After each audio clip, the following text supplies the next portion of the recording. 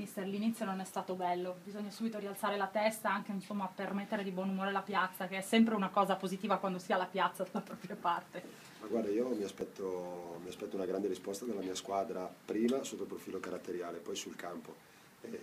siamo tutti rimasti dispiaciuti per quello che è successo eh, l'altra partita quando nessuno si aspettava un esordio così, ma l'unica possibilità che abbiamo è di dare una grande risposta prima caratteriale con gli attributi, l'ho detto anche a loro, non abbiamo altre scelte eh, non ci sono moduli, non ci sono situazioni tattiche eh, quando devi entrare in campo e dare tutto, ma solo eh, carattere e attributi. Quindi questo è un po' quello che noi prima della partita dobbiamo fare, prepararci bene. Poi il resto viene eh, la partita contro il Carpi, che è una partita difficile, l'ho visti giocare contro la Ternana, hanno fatto una buonissima partita,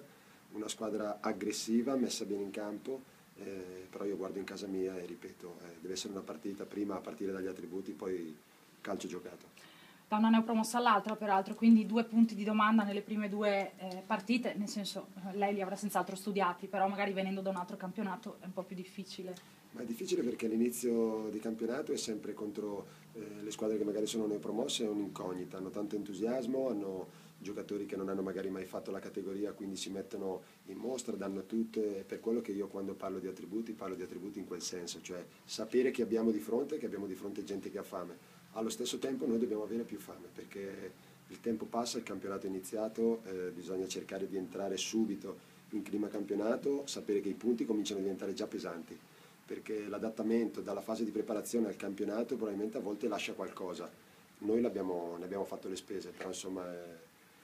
dobbiamo avere una squadra di carattere che tira fuori tutto, che parte